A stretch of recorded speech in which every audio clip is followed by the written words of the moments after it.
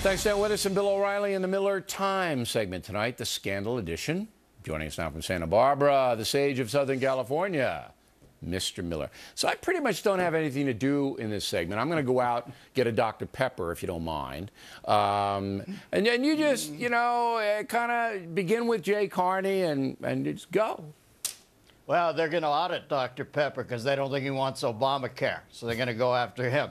You know, Billy, if some if somehow later this week Sandra Fluke manages to get knocked up, I'm never going to quit laughing. This is absolutely rich. Yippee okay, Mrs. Fuddrucker. Looks like we got ourselves a convoy.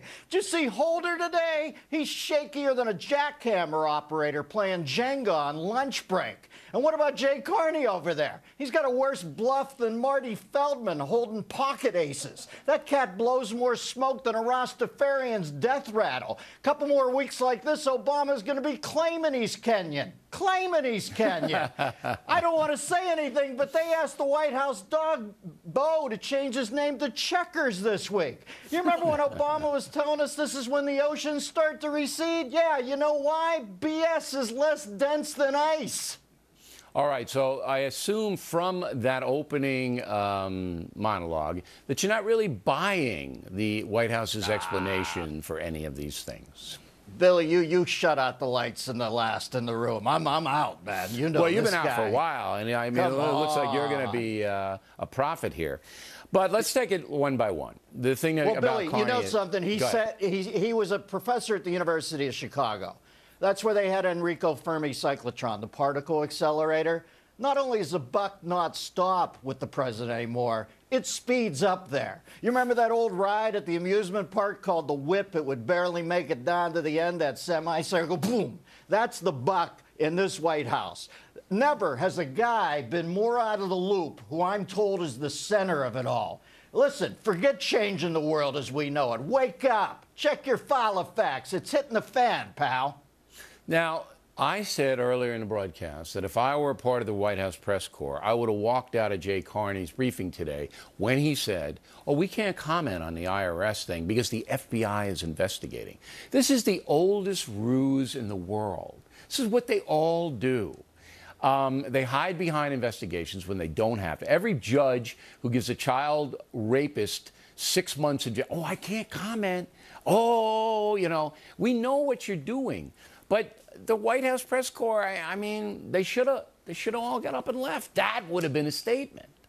Yeah, because they're honorable people. Listen, somebody out, better outfit Carney for a 40 reg jumpsuit over there at Greyhound Motors because he's about to be working with the other mechanics under the bus. No, they're not going Because to. They're not going to fire him.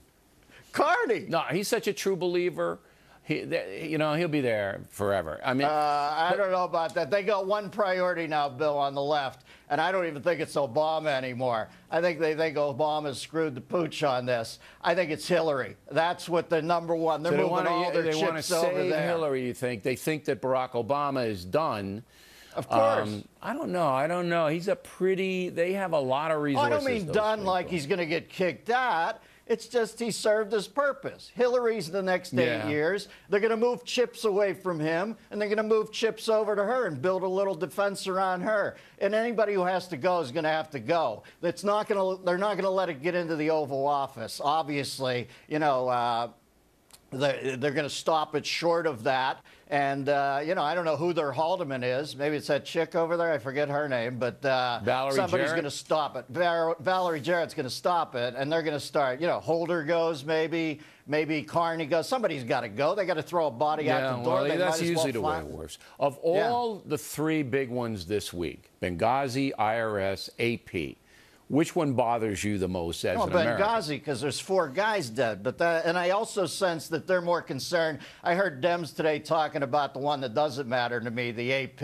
You know, monitoring them and seeing how many sex lines they're using each month. Listen, as far as the IRS goes, I always assume this goes on, but I'm betting Glenn Beck has had his wazoo armor all because he's about to get audited right gets- out of but it. he always gets paid in gold, so they have Yeah. to weigh his stuff. They know uh, that. Listen, if you were thinking, if you're a conservative group and you're thinking of cheating on your taxes, you might want to buy on the dips, as they say. This might be the time because I don't think they can go in on anybody. That's But right. You probably got about two years where they can't touch you Yeah, right they now. can't.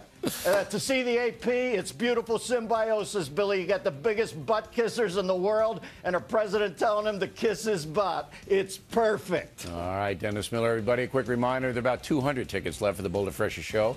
Spokane, Washington, July 20th. Make dad happy for Father's Day. Bring him to the show. 30 tickets remain for Westbury, Long Island on June 1st. Check it all out on BillO'Reilly.com.